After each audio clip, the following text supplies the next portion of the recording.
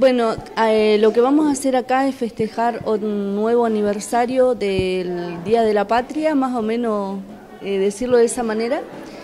Y mm, esperamos contar con los papás, que la verdad es que este año ha sido bastante buena la concurrencia y bueno, a ver qué, cómo sale. Adelántenos un poquito qué tienen preparado, vemos que algunos de los chicos están con los trajes típicos. Sí, eh, vamos, van a hacer una obrita los nenes, eh, los chicos van a hacer una obrita acompañados por el docente. Eh, hay cosas que por supuesto van a ser ayudados porque ellos necesitan la colaboración siempre. Gladys, hace algún tiempito, algunos meses atrás los visitábamos, nos comentaba de qué manera estaban trabajando en el hogar, podemos repasar eso, con qué, con cuáles de los proyectos continúan. Eh, sí, la otra vez ustedes me habían preguntado sobre el proyecto que íbamos a encarar eh, con el ENIM. Este año el ENIM no, eh, no recibe ningún tipo de, o no da ningún tipo de ayuda a los trabajos pedagógicos. Así que este año no va a ser con el ENIM, pero sí la docente lo va a hacer como ya estaba planeado. Estamos hablando del proyecto de huerta. Sí, va a ser un proyecto de huerta, de flores, de, eh, hortalizas, de, lo que se pueda trabajar con los chicos en la tierra. Y al margen de este proyecto, ¿con qué más están trabajando, que ya tengan en marcha?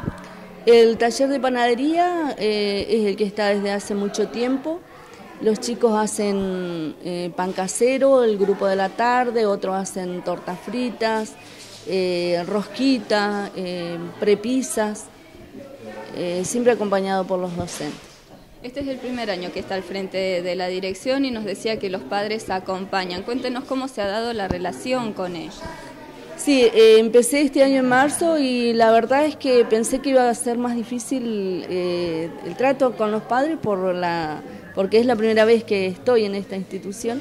Pero no, la verdad es que los papás han sido, he tenido un buen recibimiento de parte de ellos, la colaboración, como dije antes, eh, siempre están dispuestos, ellos los han acompañado, inclusive hay papás eh, que están yendo a la pileta para acompañarlo a, sus, a sus chicos.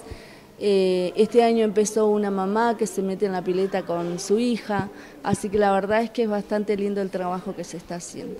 Gladys, ¿algo más que quiera comentarle a la comunidad sobre el trabajo que desarrollan aquí? Eh, bueno, eh, la verdad es que el trabajo eh, es muy, muy amplio, pero dentro de la institución, porque hay cosas que no podemos salir a hacer con ellos afuera, pero sí los sacamos de paseo, los llevan a hacer algunas cosas como ir a Copelco a pagar algún, algún recibo, a Camusi. Eh, bueno, hacer paseos a la plaza, eh, todo ese tipo de cosas. Lo que estamos haciendo este año eh, se empezó con una nueva manera de, contribuir como socios protectores. Está lanzada una campaña donde se vende un, bono contribución por, de alguna manera que sale, son ocho cuotas de 50 pesos y que en enero del 2013 se sortea una vivienda em, prefabricada.